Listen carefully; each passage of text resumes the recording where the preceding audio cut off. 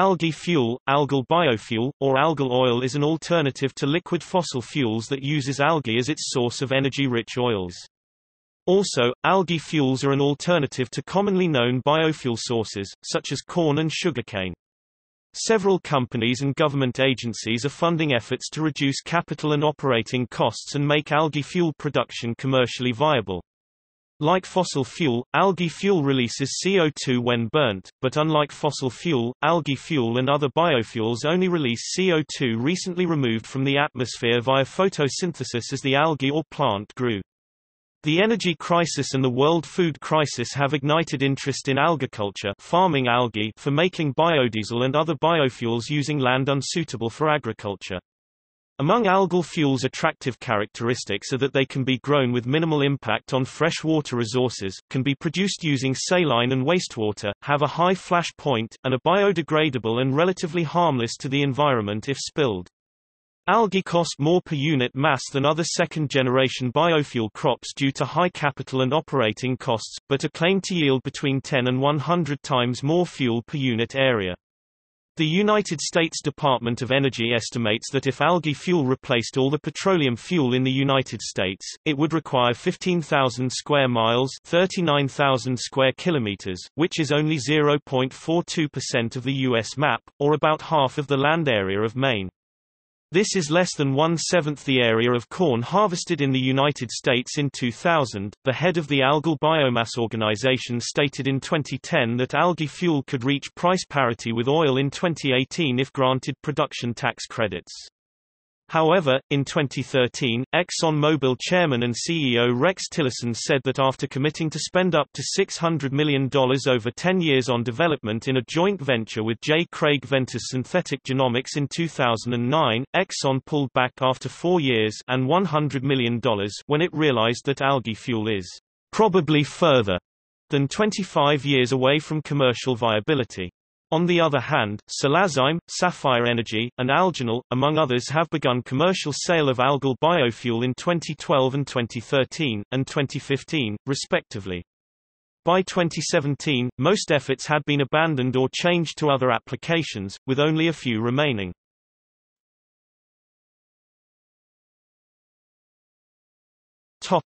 History In 1942 Harder and von Witsch were the first to propose that microalgae be grown as a source of lipids for food or fuel.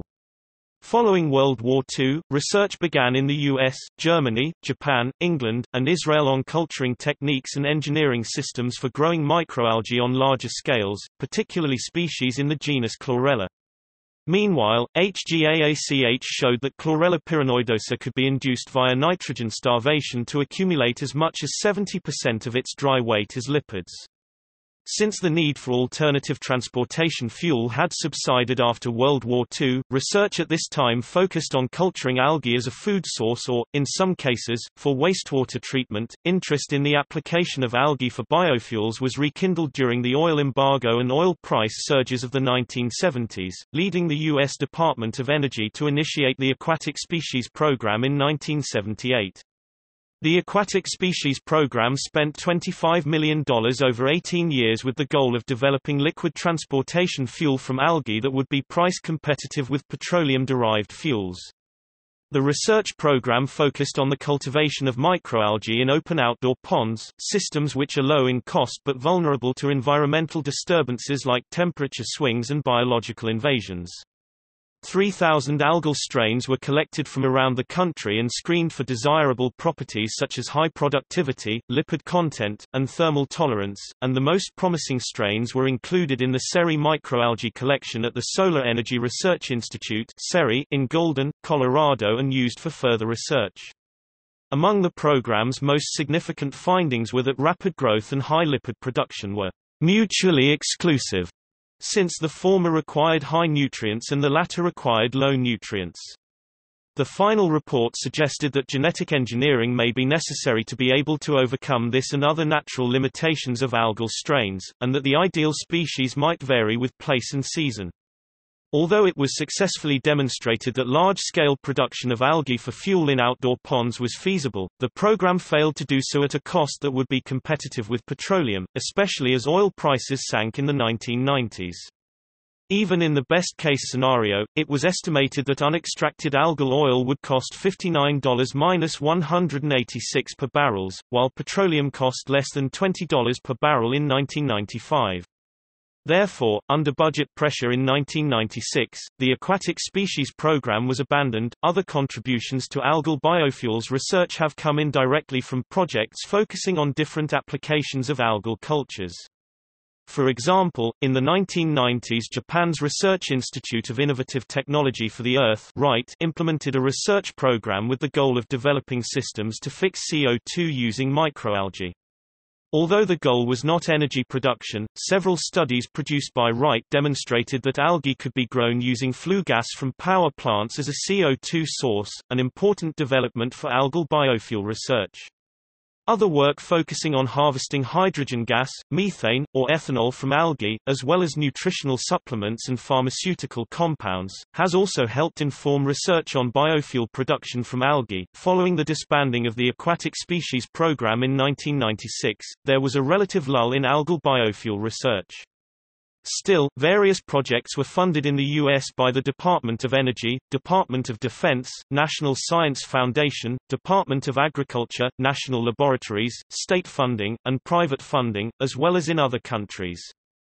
More recently, rising oil prices in the 2000s spurred a revival of interest in algal biofuels and U.S. federal funding has increased. Numerous research projects are being funded in Australia, New Zealand, Europe, the Middle East, and other parts of the world, and a wave of private companies has entered the field C companies.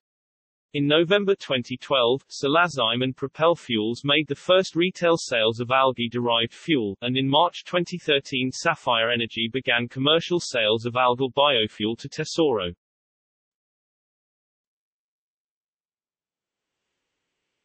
Topic. Food supplementation Algal oil is used as a source of fatty acid supplementation in food products, as it contains mono and polyunsaturated fats, in particular EPA and DHA. Its DHA content is roughly equivalent to that of salmon-based fish oil.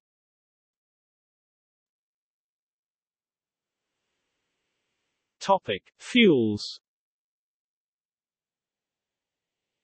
Algae can be converted into various types of fuels, depending on the technique and the part of the cells used.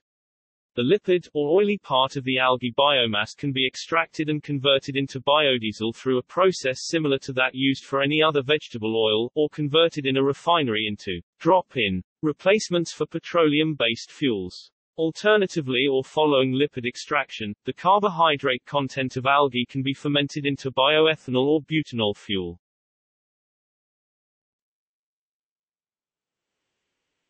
Topic. Biodiesel Biodiesel is a diesel fuel derived from animal or plant lipids, oils and fats. Studies have shown that some species of algae can produce 60% or more of the dry weight in the form of oil. Because the cells grow in aqueous suspension, where they have more efficient access to water, CO2 and dissolved nutrients, microalgae are capable of producing large amounts of biomass and usable oil in either high-rate algal ponds or photobioreactors. This oil can then be turned into biodiesel which could be sold for use in automobiles. Regional production of microalgae and processing into biofuels will provide economic benefits to rural communities, as they do not have to produce structural compounds such as cellulose for leaves, stems, or roots, and because they can be grown floating in a rich nutritional medium, microalgae can have faster growth rates than terrestrial crops. Also, they can convert a much higher fraction of the biomass to oil than conventional crops, e.g. 60% versus 2 to 3% for soybeans. The per unit area yield of oil from algae is estimated to be from 58,700 to 136,900 L per hectare per year, depending on lipid content, which is 10 to 23 times as high as the next highest yielding crop, oil palm, at 5,950 L per hectare per year. The U.S. Department of Energy's Aquatic Species Program, 1978 to 1996, focused on biodiesel from microalgae. The final report suggested that biodiesel could be the only viable method by which to produce enough fuel to replace current world diesel usage.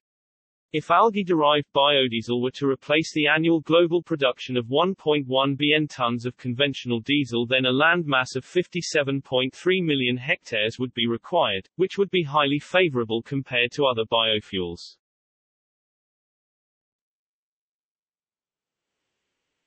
Topic: Biobutanol. Butanol can be made from algae or diatoms using only a solar-powered biorefinery. This fuel has an energy density 10% less than gasoline, and greater than that of either ethanol or methanol. In most gasoline engines, butanol can be used in place of gasoline with no modifications. In several tests, butanol consumption is similar to that of gasoline, and when blended with gasoline, provides better performance and corrosion resistance than that of ethanol or E85. The green waste left over from the algae oil extraction can be used to produce butanol. In addition, it has been shown that macroalgae seaweeds can be fermented by bacteria of genus Clostridia to butanol and other solvents.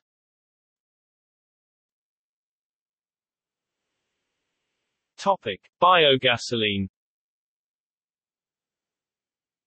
Biogasoline is gasoline produced from biomass. Like traditionally produced gasoline, it contains between 6 hexane and 12 dodecane carbon atoms per molecule and can be used in internal combustion engines.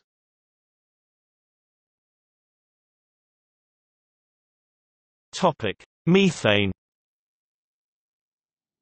Methane, the main constituent of natural gas can be produced from algae in various methods, namely gasification, pyrolysis and anaerobic digestion. In gasification and pyrolysis methods methane is extracted under high temperature and pressure. Anaerobic digestion is a straightforward method involved in decomposition of algae into simple components then transforming it into fatty acids using microbes like acidogenic bacteria followed by removing any solid particles and finally adding methanogenic bacteria to release a gas mixture containing methane. A number of studies have successfully shown that biomass from microalgae can be converted into biogas via anaerobic digestion. Therefore, in order to improve the overall energy balance of microalgae cultivation operations, it has been proposed to recover the energy contained in waste biomass via anaerobic digestion to methane for generating electricity.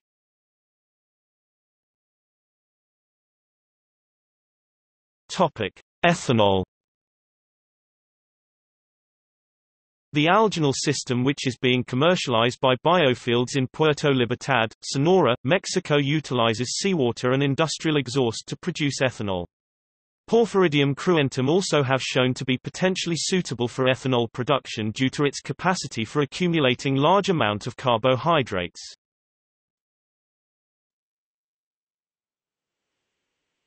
Topic: Green diesel. Algae can be used to produce green diesel also known as renewable diesel, hydrotreating vegetable oil or hydrogen-derived renewable diesel through a hydrotreating refinery process that breaks molecules down into shorter hydrocarbon chains used in diesel engines. It has the same chemical properties as petroleum-based diesel meaning that it does not require new engines, pipelines or infrastructure to distribute and use. It has yet to be produced at a cost that is competitive with petroleum.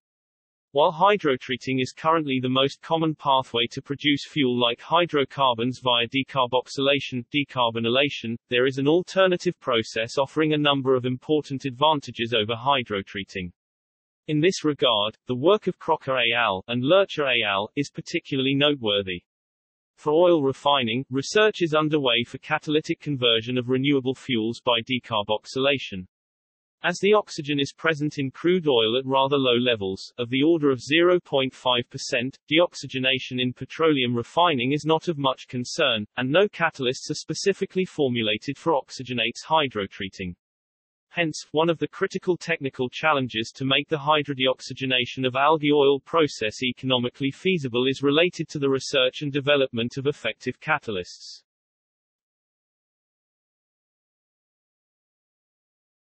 Topic: Jet fuel. Trials of using algae as biofuel were carried out by Lufthansa, and Virgin Airlines as early as 2008, although there is little evidence that using algae is a reasonable source for jet biofuels. By 2015, cultivation of fatty acid methyl esters and alkenones from the algae, Isochrysis, was under research as a possible jet biofuel feedstock. As of 2017, there was little progress in producing jet fuel from algae, with a forecast that only 3 to 5% of fuel needs could be provided from algae by 2050. Further, algae companies that formed in the early 21st century as a base for an algae biofuel industry have either closed or changed their business development toward other commodities, such as cosmetics, animal feed, or specialty oil products.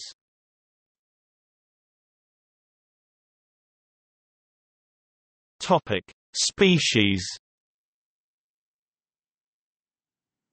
Research into algae for the mass production of oil focuses mainly on microalgae organisms capable of photosynthesis that are less than 0.4 mm in diameter, including the diatoms and cyanobacteria, as opposed to macroalgae, such as seaweed. The preference for microalgae has come about due largely to their less complex structure, fast growth rates, and high oil content for some species. However, some research is being done into using seaweeds for biofuels, probably due to the high availability of this resource. As of 2012 researchers across various locations worldwide have started investigating the following species for the suitability as a mass oil producers. Botryococcus braunii Chlorella Dunaliella tertiolecta Gracilaria Pleurochrysis carteri also called CCMP 647 Sargassum, with 10 times the output volume of Gracilaria, the amount of oil each strain of algae produces varies widely. Note the following microalgae and their various oil yields. Ankistrodesmus tr87, 28 to 40% dry weight. Botryococcus braunii, 29 to 75% DW. Chlorella sp, 29% DW. Chlorella protothecoides autotrophic, heterotrophic, 15 to 55% DW. Crypthecodinium cohnii, 20% DW. Cyclotellidae 35 to 42% DW. Dunaliella tertiolecta, 36 to 42% DW. Hantzschia 160, 66% DW. Nannochloris 31 6 to 63 percent DW Nannochloropsis 46 31 to 68 percent DW Nannochloropsis and biofuels. Neochloris oleoabundans 35 to 54 percent DW Nitzschia TR 114 28 to 50 percent DW Phaeodactylum tricornutum 31 percent DW Scenedesmus TR84, 45% DW. Schizochytrium 50 to 77% DW. Stichococcus 33, 9 to 59% DW. Tetraselmis suecica 15 to 32% DW. Thalassiosirus udinana, 21 to 31 percent. In addition, due to its high growth rate, ulva has been investigated as a fuel for use in the SOFT cycle. SOFT stands for Solar Oxygen Fuel Turbine, a closed-cycle power generation system suitable for use in arid, subtropical regions. Other species used include Clostridium saccharoperbutylacetonicum, Sargassum, Gracilaria, Prymnesium parvum, and Euglena gracilis. Topic. Nutrients and growth inputs Light is what algae primarily need for growth as it is the most limiting factor. Many companies are investing for developing systems and technologies for providing artificial light. One of them is Originoil that has developed a Helix bioreactor TM that features a rotating vertical shaft with low-energy lights arranged in a helix pattern. Water temperature also influences the metabolic and reproductive rates of algae. Although most algae grow at low rate when the water temperature gets lower, the biomass of algal communities can get large due to the absence of grazing organisms. The modest increases in water current velocity may also affect rates of algae growth since the rate of nutrient uptake and boundary layer diffusion increases with current velocity. Other than light and water, phosphorus, nitrogen, and certain micronutrients are also useful and essential in growing algae. Nitrogen and phosphorus are the two most significant nutrients required for algal productivity, but other nutrients such as carbon and silica are additionally required. Of the nutrients required, phosphorus is one of the most essential ones as it is used in numerous metabolic processes. The microalgae D. tertiolecta was analyzed to see which nutrient affects its growth the most. The concentrations of phosphorus P, iron, Fe, cobalt Co, zinc, zinc, manganese Minnesota, and molybdenum Mo, magnesium Mg, calcium Ca, silicon C, and sulfur S concentrations were measured daily using inductively coupled plasma ICP analysis. Among all these elements being measured, phosphorus resulted in the most dramatic decrease, with a reduction of 84% over the course of the culture. This result indicates that phosphorus, in the form of phosphate, is required in high amounts by all organisms for metabolism. There are two enrichment media that have been extensively used to grow most species of algae, warm medium and the Guillard's F2 medium. These commercially available nutrient solutions may reduce time for preparing all the nutrients required to grow algae. However, due to the complexity in the process of generation and high cost, they are not used for large-scale culture operations. Therefore, enrichment media used for mass production of algae contain only the most important nutrients with agriculture-grade fertilizers rather than laboratory-grade fertilizers.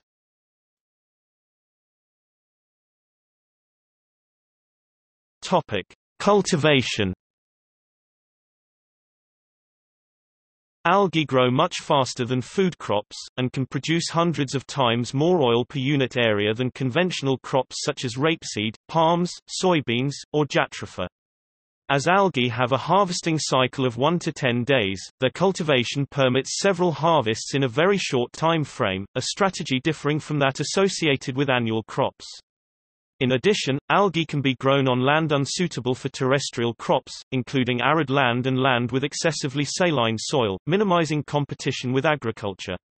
Most research on algae cultivation has focused on growing algae in clean but expensive photobioreactors, or in open ponds, which are cheap to maintain but prone to contamination.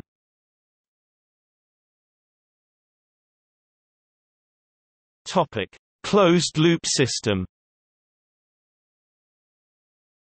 The lack of equipment and structures needed to begin growing algae in large quantities has inhibited widespread mass production of algae for biofuel production. Maximum use of existing agriculture processes and hardware is the goal. Closed systems not exposed to open air avoid the problem of contamination by other organisms blown in by the air. The problem for a closed system is finding a cheap source of sterile CO2. Several experimenters have found the CO2 from a smokestack works well for growing algae. For reasons of economy, some experts think that algae farming for biofuels will have to be done as part of cogeneration, where it can make use of waste heat and help soak up pollution.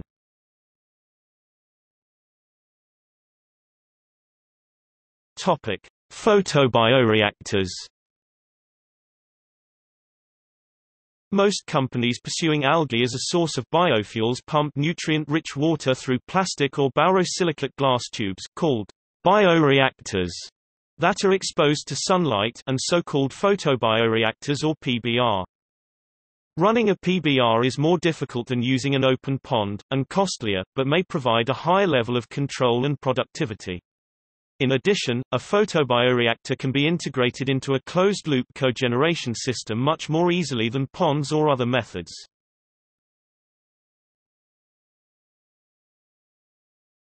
Topic: Open pond.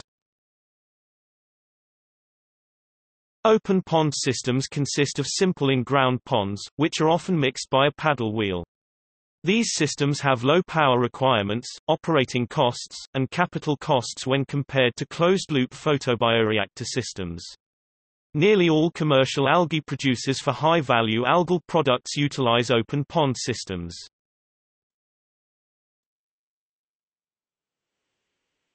Topic: Turf scrubber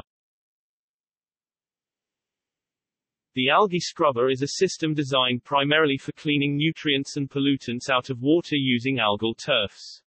ATS mimics the algal turfs of a natural coral reef by taking in nutrient-rich water from waste streams or natural water sources, and pulsing it over a sloped surface. This surface is coated with a rough plastic membrane or a screen, which allows naturally occurring algal spores to settle and colonize the surface.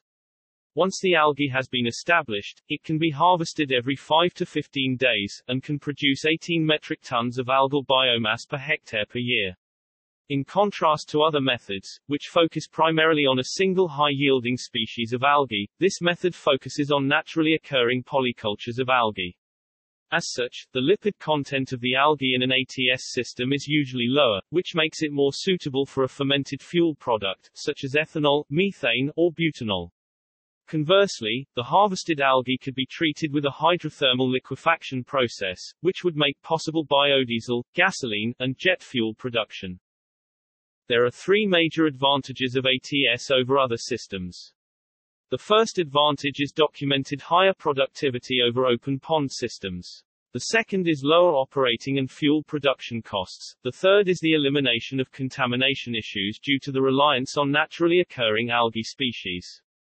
The projected costs for energy production in an ATS system are 75 cents per kilogram, compared to a photobioreactor which would cost $3.50 per kilogram furthermore, due to the fact that the primary purpose of ATS is removing nutrients and pollutants out of water, and these costs have been shown to be lower than other methods of nutrient removal. This may incentivize the use of this technology for nutrient removal as the primary function, with biofuel production as an added benefit.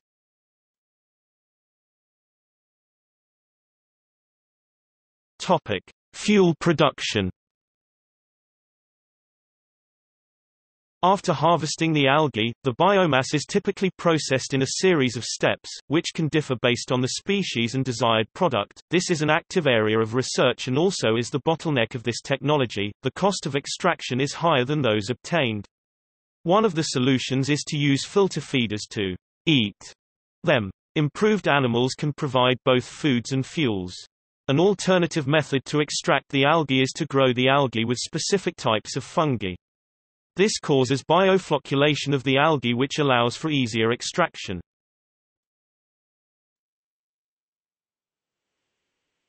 Topic. Dehydration Often, the algae is dehydrated, and then a solvent such as hexane is used to extract energy-rich compounds like triglycerides from the dried material. Then, the extracted compounds can be processed into fuel using standard industrial procedures. For example, the extracted triglycerides are reacted with methanol to create biodiesel via transesterification. The unique composition of fatty acids of each species influences the quality of the resulting biodiesel and thus must be taken into account when selecting algal species for feedstock.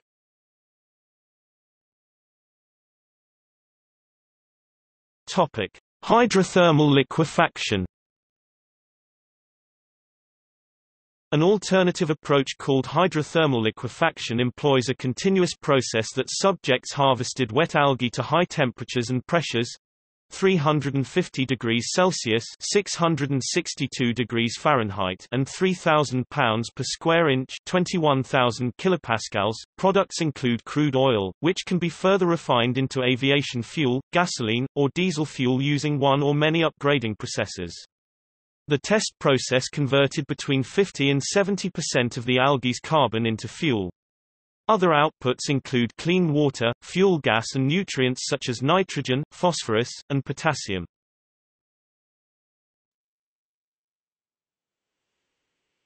Topic. Nutrients Nutrients like nitrogen N, phosphorus P, and potassium K, are important for plant growth and are essential parts of fertilizer. Silica and iron, as well as several trace elements, may also be considered important marine nutrients as the lack of one can limit the growth of, or productivity in, an area.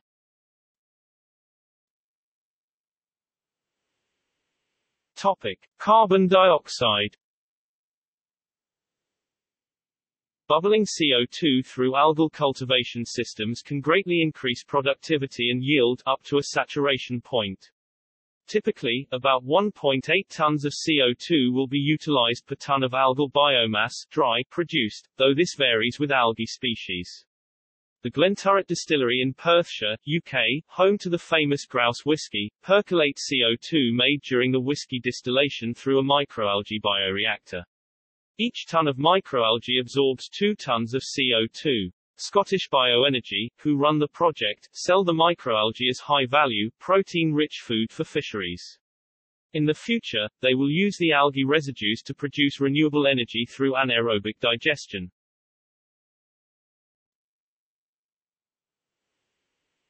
Topic. Nitrogen Nitrogen is a valuable substrate that can be utilized in algal growth. Various sources of nitrogen can be used as a nutrient for algae, with varying capacities. Nitrate was found to be the preferred source of nitrogen, in regards to amount of biomass grown. Urea is a readily available source that shows comparable results, making it an economical substitute for nitrogen source in large-scale culturing of algae. Despite the clear increase in growth in comparison to a nitrogen-less medium, it has been shown that alterations in nitrogen levels affect lipid content within the algal cells. In one study nitrogen deprivation for 72 hours caused the total fatty acid content on a per cell basis to increase by 2.4-fold. 65% of the total fatty acids were esterified to triacylglycerides in oil bodies, when compared to the initial culture, indicating that the algal cells utilized de novo synthesis of fatty acids. It is vital for the lipid content in algal cells to be of high enough quantity, while maintaining adequate cell division times, so parameters that can maximize both are under investigation.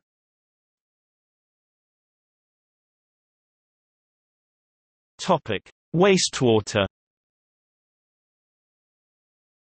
A possible nutrient source is wastewater from the treatment of sewage, agricultural, or floodplain runoff, all currently major pollutants and health risks. However, this wastewater cannot feed algae directly and must first be processed by bacteria, through anaerobic digestion. If wastewater is not processed before it reaches the algae, it will contaminate the algae in the reactor, and at the very least, kill much of the desired algae strain.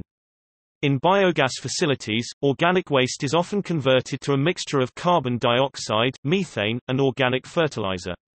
Organic fertilizer that comes out of the digester is liquid, and nearly suitable for algae growth, but it must first be cleaned and sterilized. The utilization of wastewater and ocean water instead of freshwater is strongly advocated due to the continuing depletion of freshwater resources. However, heavy metals, trace metals, and other contaminants in wastewater can decrease the ability of cells to produce lipids biosynthetically and also impact various other workings in the machinery of cells. The same is true for ocean water, but the contaminants are found in different concentrations. Thus, agricultural-grade fertilizer is the preferred source of nutrients, but heavy metals are again a problem, especially for strains of algae that are susceptible to these metals. In open pond systems the use of strains of algae that can deal with high concentrations of heavy metals could prevent other organisms from infesting these systems. In some instances it has even been shown that strains of algae can remove over 90% of nickel and zinc from industrial wastewater in relatively short periods of time.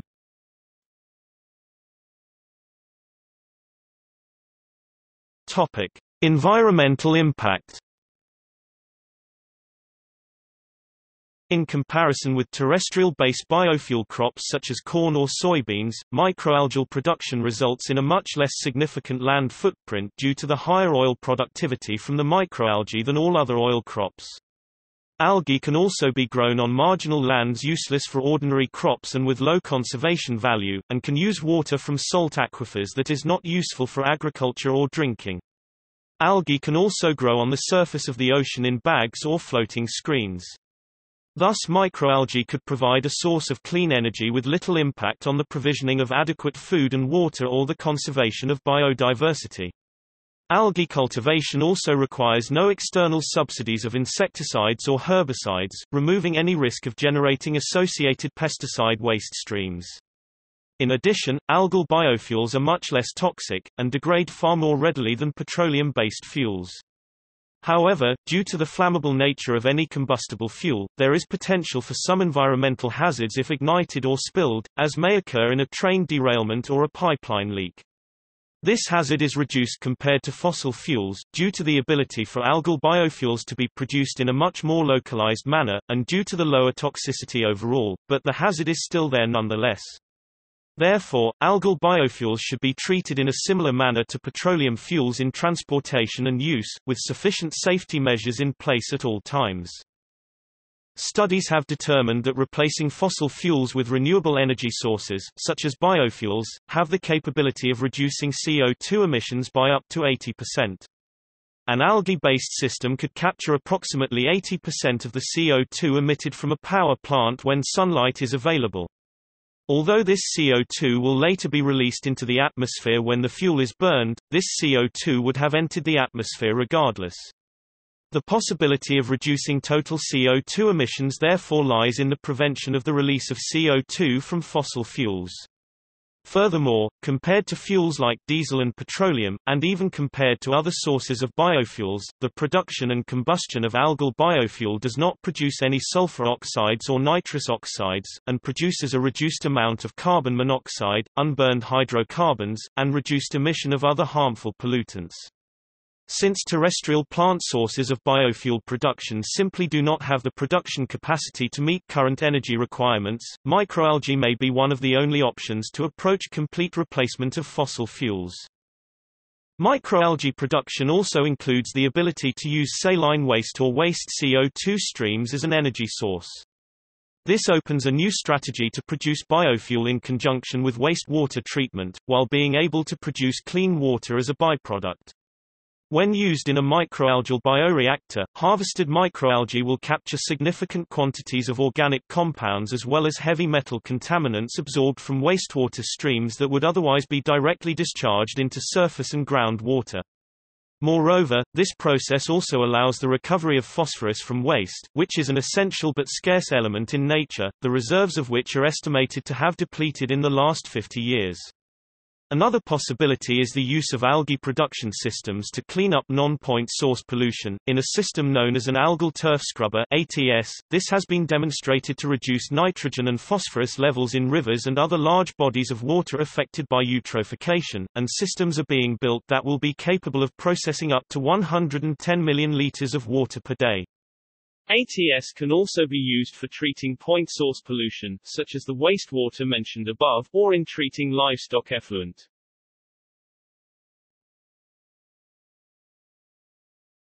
Topic: Polycultures.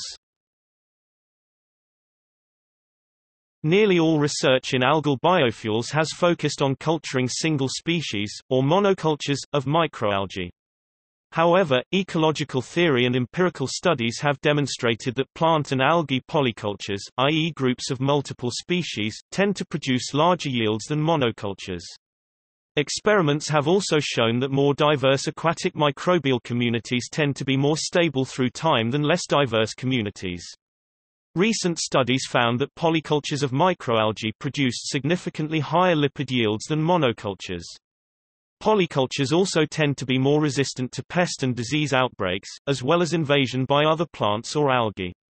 Thus culturing microalgae in polyculture may not only increase yields and stability of yields of biofuel, but also reduce the environmental impact of an algal biofuel industry.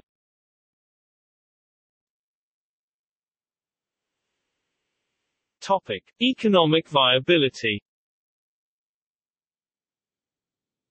There is clearly a demand for sustainable biofuel production, but whether a particular biofuel will be used ultimately depends not on sustainability but cost efficiency.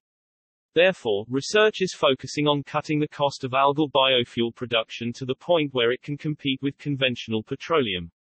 The production of several products from algae has been mentioned as the most important factor for making algae production economically viable. Other factors are the improving of the solar energy to biomass conversion efficiency currently 3%, but 5 to 7% is theoretically attainable, and making the oil extraction from the algae easier. In a 2007 report a formula was derived estimating the cost of algal oil in order for it to be a viable substitute to petroleum diesel. C algal oil equals 25.9 times 10 minus 3 C petroleum, where C algal oil is the price of microalgal oil in dollars per gallon and C petroleum is the price of crude oil in dollars per barrel. This equation assumes that algal oil has roughly 80% of the caloric energy value of crude petroleum. With current technology available, it is estimated that the cost of producing microalgal biomass is $2.95 per kilogram for photobioreactors and $3.80 per kilogram for open ponds. These estimates assume that carbon dioxide is available at no cost. If the annual biomass production capacity is increased to 10,000 tons, the cost of production per kilogram reduces to roughly 47 cents and 60 cents, respectively.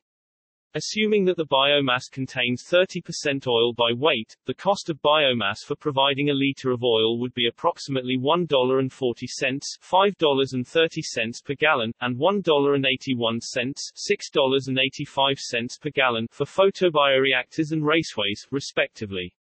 Oil recovered from the lower-cost biomass produced in photobioreactors is estimated to cost $2.80 per liters, assuming the recovery process contributes 50% to the cost of the final recovered oil.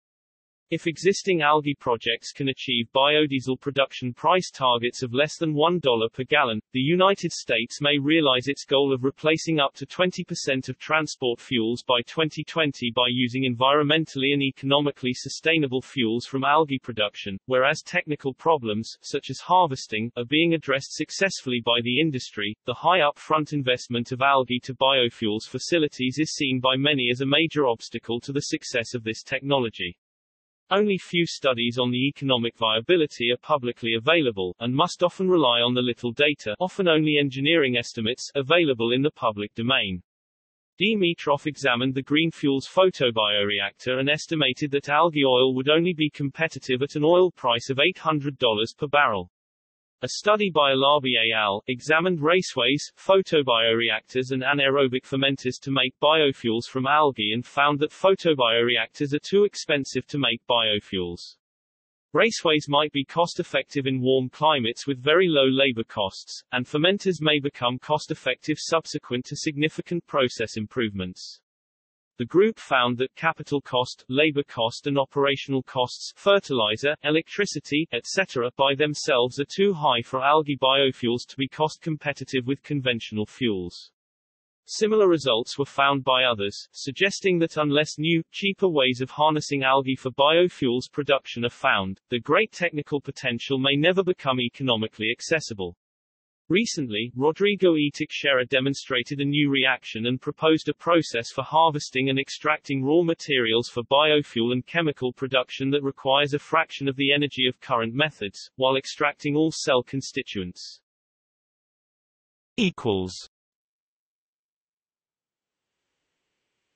Topic. Use of byproducts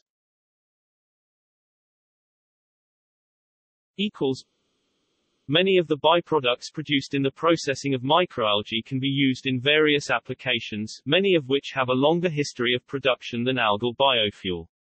Some of the products not used in the production of biofuel include natural dyes and pigments, antioxidants, and other high-value bioactive compounds. These chemicals and excess biomass have found numerous use in other industries.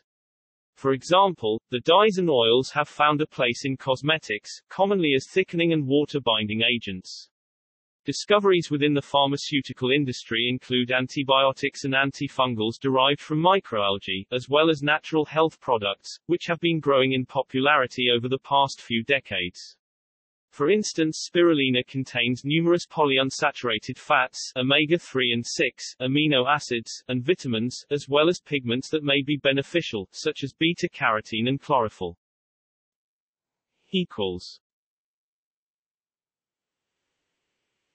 Topic. Advantages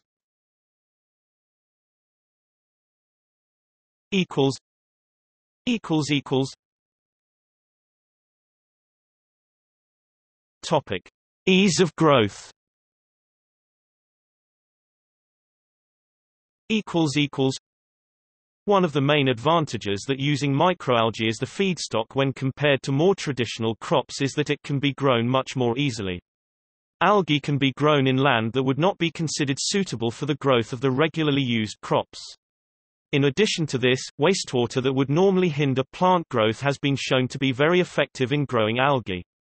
Because of this, algae can be grown without taking up arable land that would otherwise be used for producing food crops, and the better resources can be reserved for normal crop production. Microalgae also require fewer resources to grow and little attention is needed, allowing the growth and cultivation of algae to be a very passive process.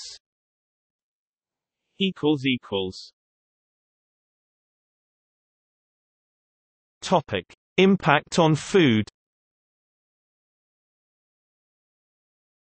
equals equals Many traditional feedstocks for biodiesel, such as corn and palm, are also used as feed for livestock on farms, as well as a valuable source of food for humans. Because of this, using them as biofuel reduces the amount of food available for both, resulting in an increased cost for both the food and the fuel produced. Using algae as a source of biodiesel can alleviate this problem in a number of ways. First, algae is not used as a primary food source for humans, meaning that it can be used solely for fuel and there would be little impact in the food industry. Second, many of the waste product extracts produced during the processing of algae for biofuel can be used as a sufficient animal feed. This is an effective way to minimize waste and a much cheaper alternative to the more traditional corn or grain-based feeds. equals equals Topic: Minimalization of waste. equals equals Growing algae as a source of biofuel has also been shown to have numerous environmental benefits, and has presented itself as a much more environmentally friendly alternative to current biofuels. For one, it is able to utilize runoff, water contaminated with fertilizers and other nutrients that are a byproduct of farming, as its primary source of water and nutrients. Because of this, it prevents this contaminated water from mixing with the lakes and rivers that currently supply our drinking water. In addition to this, the ammonia, nitrates, and phosphates that would normally render the water unsafe actually serve as excellent nutrients for the algae, meaning that fewer resources are needed to grow the algae. Many algae species used in biodiesel production are excellent biofixes, meaning they are able to remove carbon dioxide from the atmosphere to use as a form of energy for themselves. Because of this, they have found use in industry as a way to treat flue gases and reduce GHG emissions. equals equals disadvantages equals equals equals Topic Commercial viability equals Algae biodiesel is still a fairly new technology. Despite the fact that research began over 30 years ago, it was put on hold during the mid-1990s, mainly due to a lack of funding and a relatively low petroleum cost.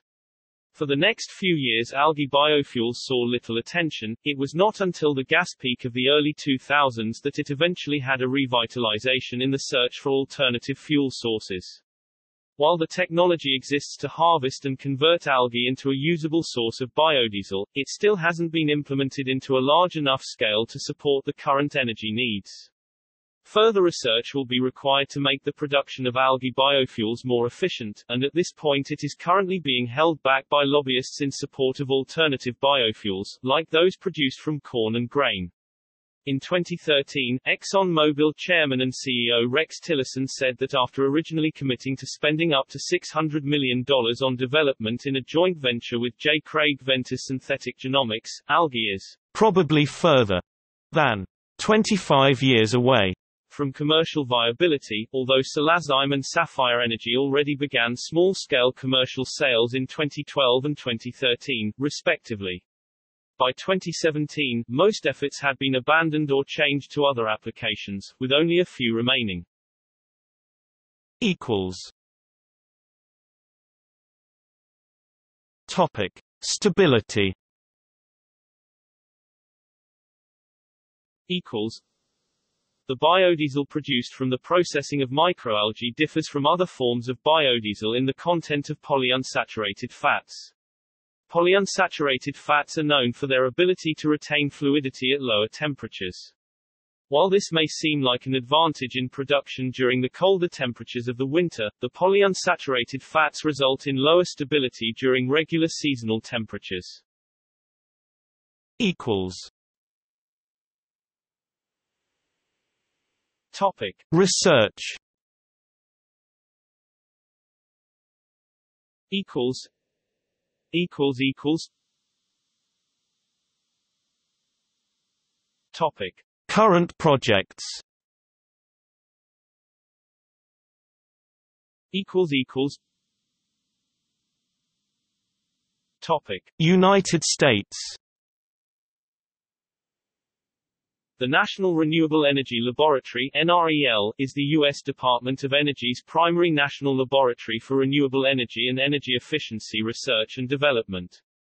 This program is involved in the production of renewable energies and energy efficiency. One of its most current divisions is the biomass program which is involved in biomass characterization, biochemical and thermochemical conversion technologies in conjunction with biomass process engineering and analysis.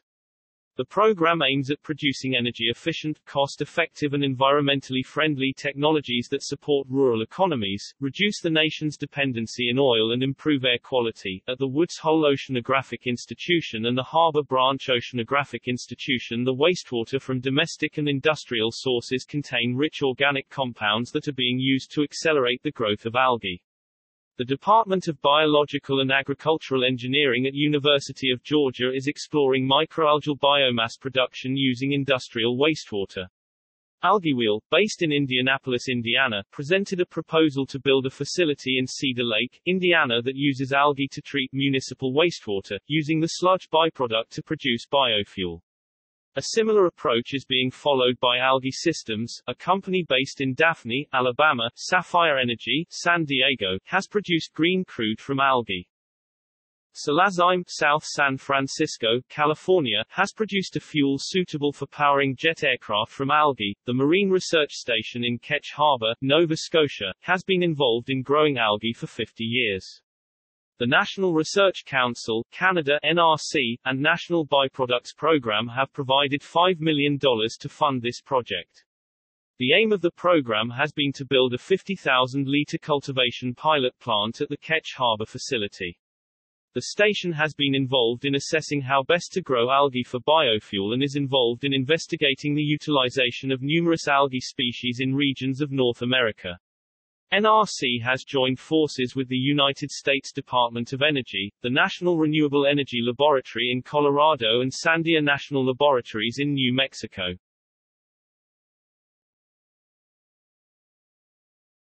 Topic: Europe Universities in the United Kingdom which are working on producing oil from algae include, University of Manchester, University of Sheffield, University of Glasgow, University of Brighton, University of Cambridge, University College London, Imperial College London, Cranfield University and Newcastle University. In Spain, it is also relevant the research carried out by the CSIC's Instituto de Bioquímica Vegetal y Photosynthesis Microalgae Biotechnology Group, Seville. The European Algae Biomass Association EABA is the European association representing both research and industry in the field of algae technologies, currently with 79 members. The association is headquartered in Florence, Italy. The general objective of the EABA is to promote mutual interchange and cooperation in the field of biomass production and use, including biofuels uses and all other utilizations. It aims at creating, developing and maintaining solidarity and links between its members and at defending their interests at European and international level. Its main target is to act as a catalyst for fostering synergies among scientists, industrialists and decision-makers to promote the development of research, technology and industrial capacities in the field of algae. CMCL Innovations and the University of Cambridge are carrying out a detailed design study of a CFAST carbon-negative fuels derived from algal and solar technologies plant. The main objective is to design a pilot plant which can demonstrate production of hydrocarbon fuels including diesel and gasoline as sustainable carbon-negative energy carriers and raw materials for the chemical commodity industry. This project will report in June 2013. Ukraine plans to produce biofuel using a special type of algae. The European Commission's Algae Cluster project, funded through the Seventh Framework Programme, is made up of three algae biofuel projects, each looking to design and build a different algae biofuel facility covering 10 hectares of land. The projects are BIOFAT, Allgas and InteSusAl. Since various fuels and chemicals can be produced from algae, it has been suggested to investigate the feasibility of various production processes conventional extraction, separation, hydrothermal liquefaction, gasification and pyrolysis for application in an integrated algal biorefinery.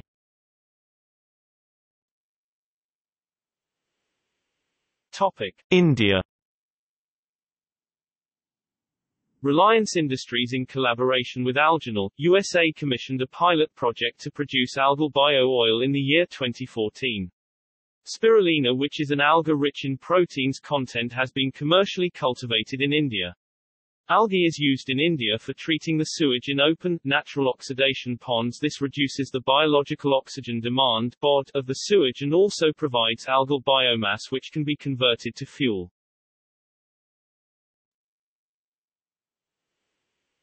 Topic. Other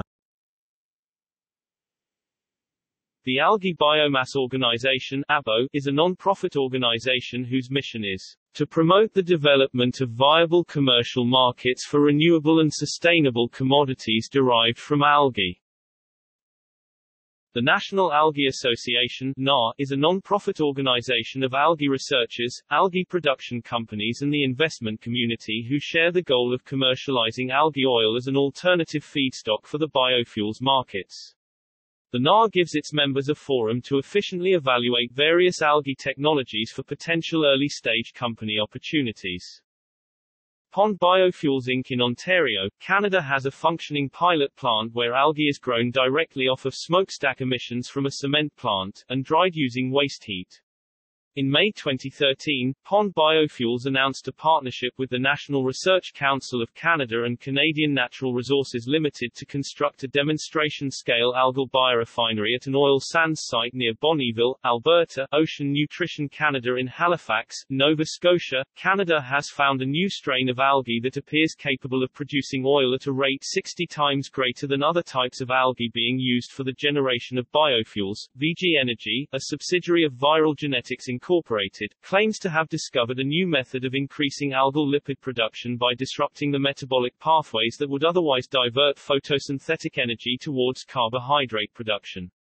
Using these techniques, the company states that lipid production could be increased several-fold, potentially making algal biofuels cost competitive with existing fossil fuels.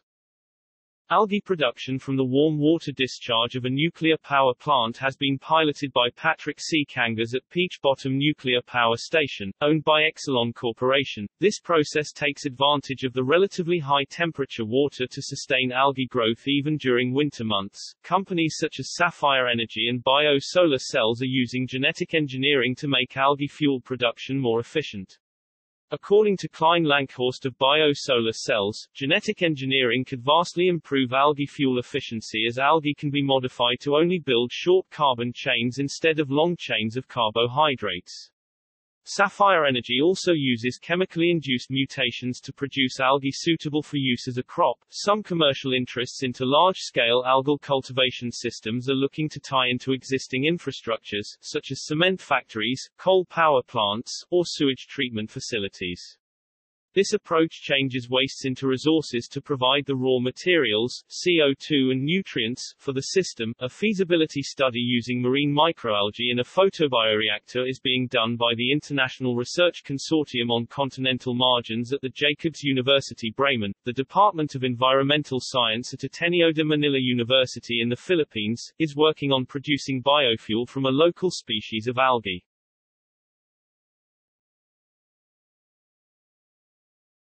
Topic: Genetic engineering Genetic engineering algae has been used to increase lipid production or growth rates. Current research in genetic engineering includes either the introduction or removal of enzymes. In 2007 Oswald et al. introduced a monoterpene synthase from sweet basil into Saccharomyces cerevisiae, a strain of yeast. This particular monoterpene synthase causes the de novo synthesis of large amounts of geraniol, while also secreting it into the medium.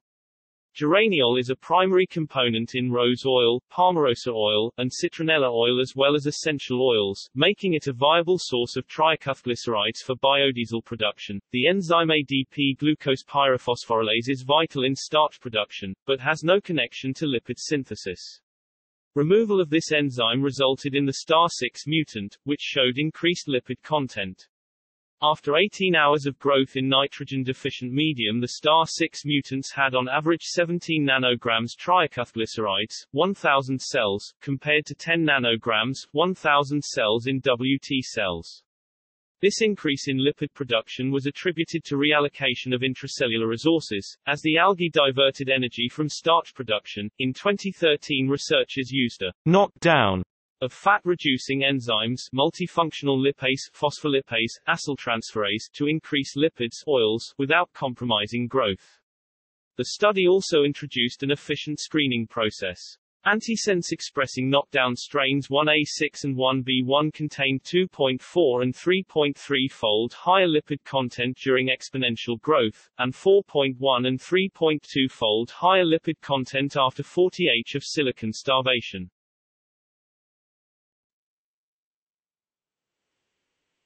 Topic. Funding programs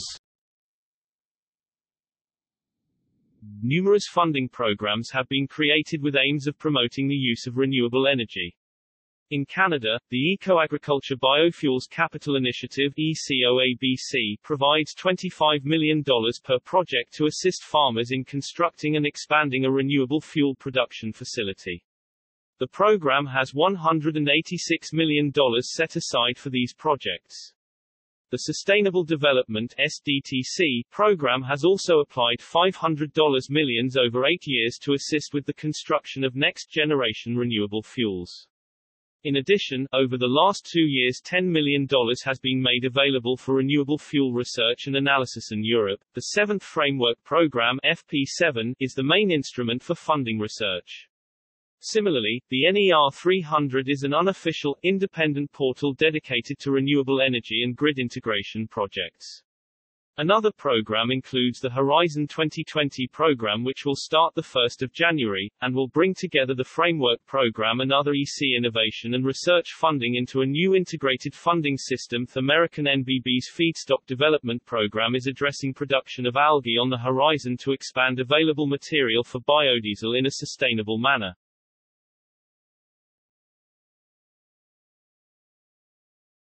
Topic: International policies.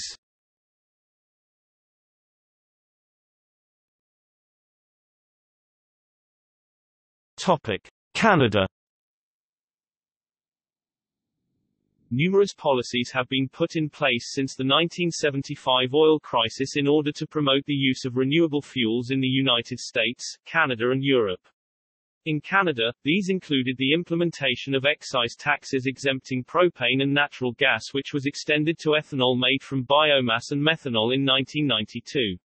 The federal government also announced their renewable fuels strategy in 2006 which proposed four components, increasing availability of renewable fuels through regulation, supporting the expansion of Canadian production of renewable fuels, assisting farmers to seize new opportunities in this sector and accelerating the commercialization of new technologies.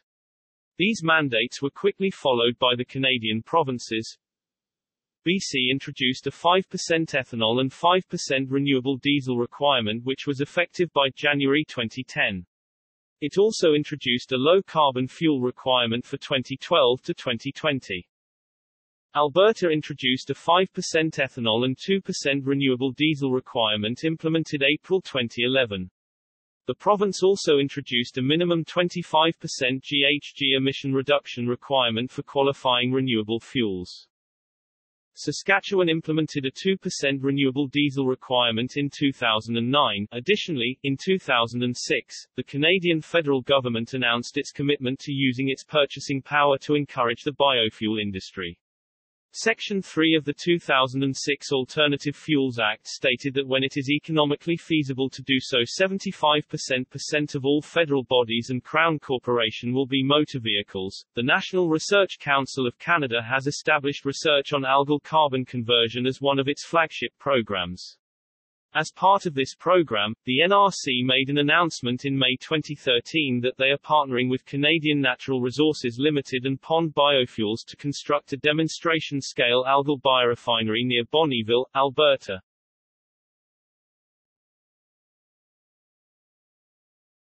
Topic: United States Policies in the United States have included a decrease in the subsidies provided by the federal and state governments to the oil industry which have usually included $2.84 billion. This is more than what is actually set aside for the biofuel industry. The measure was discussed at the G20 in Pittsburgh where leaders agreed that Inefficient fossil fuel subsidies encourage wasteful consumption, reduce our energy security, impede investment in clean sources and undermine efforts to deal with the threat of climate change. If this commitment is followed through and subsidies are removed, a fairer market in which algae biofuels can compete will be created. In 2010, the U.S. House of Representatives passed a legislation seeking to give algae-based biofuels parity with cellulose biofuels in federal tax credit programs. The Algae-Based Renewable Fuel Promotion Act HR 4168 was implemented to give biofuel projects access to a $1.01 per gallon production tax credit and 50% bonus depreciation for biofuel plant property. The U.S. government also introduced the Domestic Fuel for Enhancing National Security Act implemented in 2011. This policy constitutes an amendment to the Federal Property and Administrative Services Act of 1949 and federal defense provisions in order to extend to 15 the number of years that the Department of Defense DOD multi-year contract may be entered into the case of the purchase of advanced biofuel. Federal and DOD programs are usually limited to a five-year period. Topic. Other The European Union EU has also responded by quadrupling the credits for second-generation algae biofuels which was established as an amendment to the Biofuels and Fuel Quality Directives.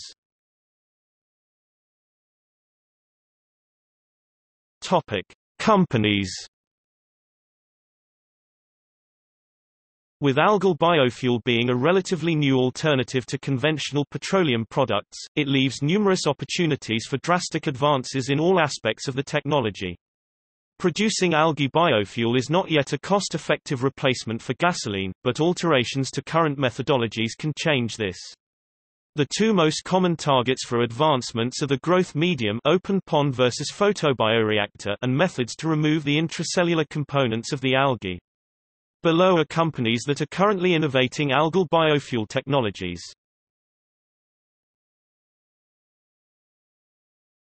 Topic: Algenol biofuels. Founded in 2006, Algenol Biofuels is a global, industrial biotechnology company that is commercializing its patented algae technology for production of ethanol and other fuels. Based in southwest Florida, Algenol's patented technology enables the production of the four most important fuels ethanol, gasoline, jet, and diesel fuel using proprietary algae, sunlight, carbon dioxide and saltwater for around $1.27 per gallon and at production levels of 8,000 total gallons of liquid fuel per acre per year. Algenol's technology produces high yields and relies on patented photobioreactors and proprietary downstream techniques for low-cost fuel production using carbon dioxide from industrial sources. The company originally intended on producing commercially by 2014, but was set back when Florida Governor Rick Scott signed a bill in 2013 eliminating the state's mandate of a minimum of 10% ethanol in commercial gasoline. This caused Algenol CEO Paul Woods to scrap a plan for a $500 million plant to produce commercial amounts of algae biofuels and pursue other job sites. Currently, Algenol is a partner of the U.S. Department of Energy's Bioenergy Technologies Office, and in 2015 began smaller-scale commercial sales of E15 and E85 ethanol blends to Protec Fuel, a Florida-based fuel distributor.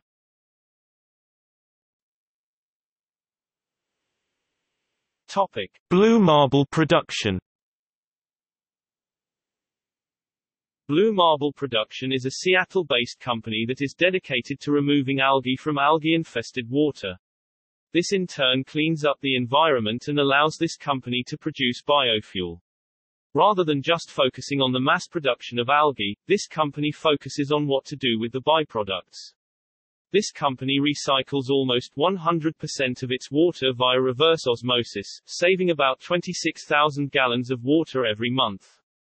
This water is then pumped back into the system. The gas produced as a byproduct of algae will also be recycled by being placed into a photobioreactor system that holds multiple strains of algae. Whatever gas remains is then made into pyrolysis oil by thermochemical processes. Not only does this company seek to produce biofuel, but it also wishes to use algae for a variety of other purposes such as fertilizer, food flavoring, anti-inflammatory, and anti-cancer drugs.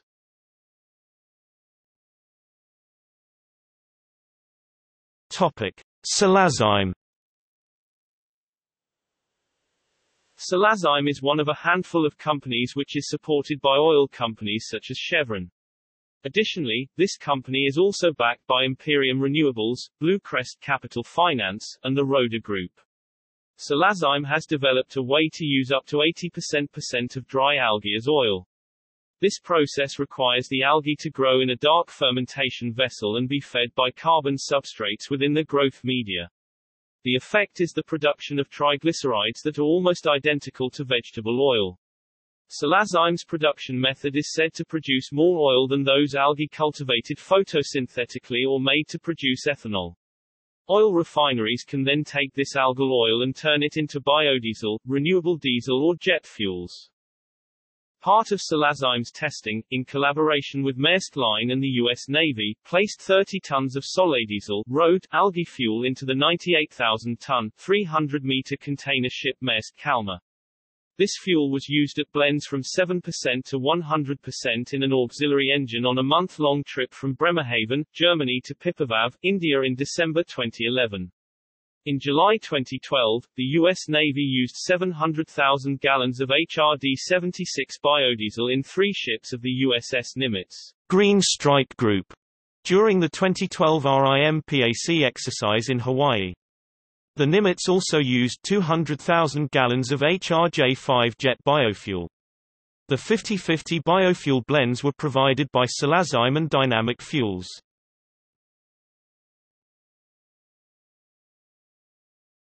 Topic: Sapphire Energy. Sapphire Energy is a leader in the algal biofuel industry backed by the Wellcome Trust, Bill Gates Cascade Investment, Monsanto, and other large donors. After experimenting with production of various algae fuels beginning in 2007, the company now focuses on producing what it calls green crude from algae in open raceway ponds. After receiving more than $100 million in federal funds in 2012, Sapphire built the first commercial demonstration algae fuel facility in New Mexico and has continuously produced biofuel since completion of the facility in that year. In 2013, Sapphire began commercial sales of algal biofuel to Tesoro, making it one of the first companies, along with Solazyme, to sell algae fuel on the market.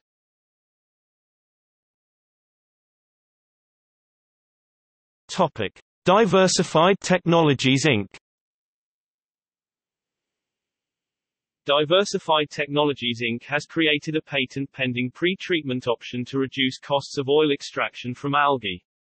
This technology, called Pulsed Electric Field PEF technology, is a low-cost, low-energy process that applies high-voltage electric pulses to a slurry of algae. The electric pulses enable the algal cell walls to be ruptured easily, increasing the availability of all cell contents lipids, proteins and carbohydrates, allowing the separation into specific components downstream. This alternative method to intracellular extraction has shown the capability to be both integrated inline as well as scalable into high-yield assemblies. The pulse electric field subjects the algae to short, intense bursts of electromagnetic radiation in a treatment chamber, electroporating the cell walls. The formation of holes in the cell wall allows the contents within to flow into the surrounding solution for further separation. PEF technology only requires 1 to 10 microsecond pulses, enabling a high-throughput approach to algal extraction. Preliminary calculations have shown that utilization of PEF technology would only account for 10 cents per gallon of algae-derived biofuel produced. In comparison, conventional drying and solvent-based extractions account for $1.75 per gallon. This inconsistency between costs can be attributed to the fact that algal drying generally accounts for 75% of the extraction process. Although a relatively new technology, PEF has been successfully used in both food decontamination processes as well as wastewater treatments.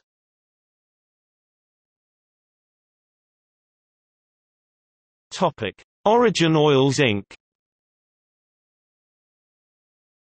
Origin Oils Inc. has been researching a revolutionary method called the Helix bioreactor, altering the common closed-loop growth system. This system utilizes low-energy lights in a helical pattern, enabling each algal cell to obtain the required amount of light. Sunlight can only penetrate a few inches through algal cells, making light a limiting reagent in open pond algae farms. Each lighting element in the bioreactor is specially altered to emit specific wavelengths of light, as a full spectrum of light is not beneficial to algae growth. In fact, ultraviolet irradiation is actually detrimental as it inhibits photosynthesis, photoreduction, and the 520 nanometers light-dark absorbance change of algae. This bioreactor also addresses another key issue in algal cell growth, introducing CO2 and nutrients to the algae without disrupting or over-aerating the algae. Origin Oils Inc. combats this issues through the creation of the quantum fracturing technology. This process takes the CO2 and other nutrients, fractures them at extremely high pressures and then deliver the micron-sized bubbles to the algae. This allows the nutrients to be delivered at a much lower pressure, maintaining the integrity of the cells.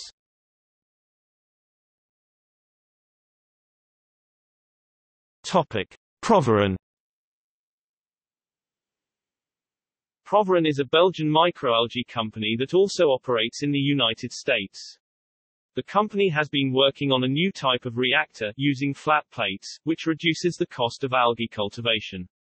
At AlgaePARC similar research is being conducted using four grow systems, one open pond system and three types of closed systems.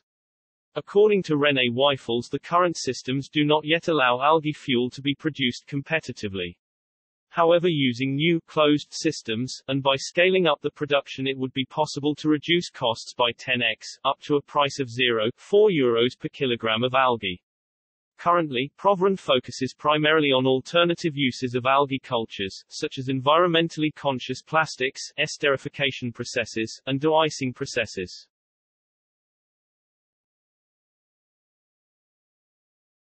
Topic: Genifuels Genifuel Corporation has licensed the high-temperature, pressure fuel extraction process and has been working with the team at the lab since 2008. The company intends to team with some industrial partners to create a pilot plant using this process to make biofuel in industrial quantities. Genifuel process combines hydrothermal liquefaction with catalytic hydrothermal gasification in reactor running at 350 degrees Celsius (662 degrees Fahrenheit) and pressure of 20,684.2719 kilopascals (3000 psi).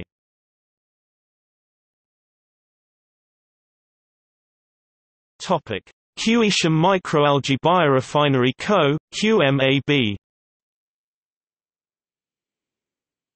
QMAB is an Iran-based biofuels company operating solely on the Iranian island of Qeshm in the Strait of Hormuz. QMAB's original pilot plant has been operating since 2009, and has a 25,000-litre capacity. In 2014, QMAB released Bio Biofuel, a biofuel deriving from the algae Nannochloropsis, and has since specified that its unique strain is up to 68% lipids by dry weight volume. Development of the farm mainly focuses on two phases, production of nutraceutical products and green crude oil to produce biofuel. The main product of their microalgae culture is crude oil, which can be fractioned into the same kinds of fuels and chemical compounds. See also